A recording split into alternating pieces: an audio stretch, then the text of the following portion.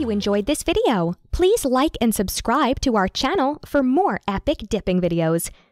For inquiries, visit dipgraphics.com or leave us a message on Facebook or Instagram.